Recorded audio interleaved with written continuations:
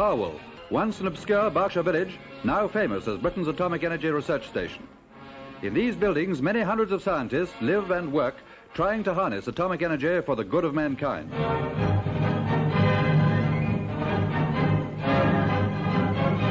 To prevent contamination from radioactive dust, all particles are whisked away by suction through the ceiling, while the workers wear protective gloves when handling the sensitive equipment.